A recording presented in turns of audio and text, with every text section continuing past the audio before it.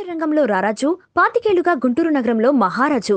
మన Ramachandra brothers mega furniture showroom. Imported అయినా స్వదేశీ అయినా ఎలాంటి ఫర్నిచర్ అయినా ఇంట్లోకి అయినా ఆఫీసులోకి అయినా అత్యంత నాణ్యతతో వందలాది రకాల ఫర్నిచర్ హోల్సేల్ ధరలకే దొరికే ఏకైక షోరూమ్ రామచంద్ర బ్రదర్స్. ఇప్పుడు గుంటూరు నగరంతో పాటు విజయవాడ రాజమండ్రి కాకినాడలో కూడా Ramachandra brothers mega furniture showroom. మళ్ళీ అదే పార్టీ వాళ్ళు ఈరోజు అమరావతిలో వచ్చి ప్రజలు రెచ్చగొట్టే ప్రయత్నం చేస్తూ ఉన్నారు.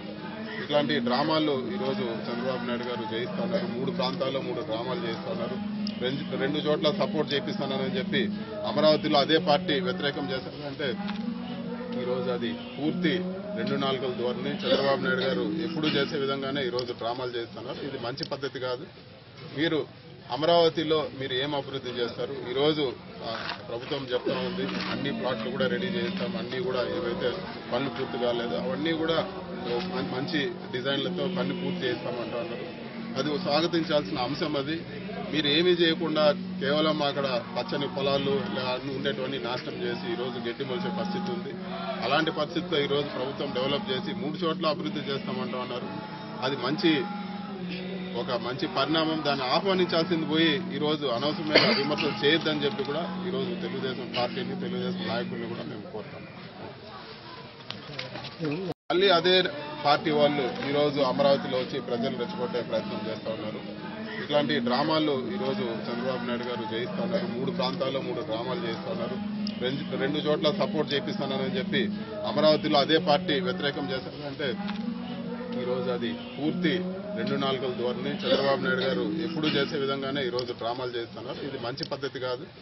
మీరు అమరావతిలో మీరు ఏం అభివృద్ధి చేస్తారు? ఈరోజు ప్రభుత్వం చెప్తా ఉంది. అన్ని ప్లాట్లు కూడా రెడీ చేస్తాం అన్ని కూడా ఏవైతే పనులు పూర్తి కాలేదు అవన్నీ కూడా మంచి డిజైన్లతో పని పూర్తి చేస్తామంటున్నారు అది స్వాగతించాల్సిన అంశం అది. మీరు ఏమీ చేయకుండా కేవలం అక్కడ పచ్చని పొలాలు ఇలా ఉండేటువంటి నాశనం చేసి ఈరోజు గడ్డి మొలిచే పరిస్థితి ఉంది. అలాంటి పరిస్థితితో ఈరోజు ప్రభుత్వం డెవలప్ చేసి మూడు చోట్ల అభివృద్ధి చేస్తామంటూ ఉన్నారు అది మంచి ఒక మంచి పరిణామం. దాన్ని ఆహ్వానించాల్సింది పోయి ఈరోజు అనవసరమైన విమర్శలు చేయొద్దని చెప్పి కూడా ఈరోజు తెలుగుదేశం పార్టీని తెలుగుదేశం నాయకుల్ని కూడా మేము కోరుతాం నవ్యాంధ్రలో కీళ్ళ మార్పిడికి కేర్ ఆఫ్ అడ్రస్గా మారడమే కాక అత్యంత ఖరీదైన ఈ వైద్యాన్ని సామాన్యులకు కూడా అందుబాటులోకి తెచ్చిన శ్రీ బూసిరెడ్డి నరేందర్ రెడ్డి గారి ఆధ్వర్యంలో నడపబడుతున్న సాయి భాస్కర్ హాస్పిటల్స్ ఇప్పుడు గుంటూరు నగరంతో పాటుగా విజయవాడలో కూడా.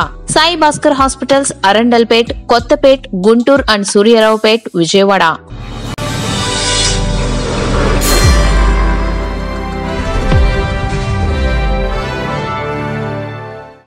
మీరు చూసిన ఈ వీడియో మీకు నిజమనిపిస్తే లైక్ చేసి మీ ఫ్రెండ్స్తో షేర్ చేయండి. మరిన్ని నిజాలను తెలుసుకోవడం కోసం మా నిజం ఛానల్ని సబ్స్క్రైబ్ చేయండి. అలాగే బెల్ ఐకాన్ని క్లిక్ చేయడం మాత్రం మర్చిపోకండి.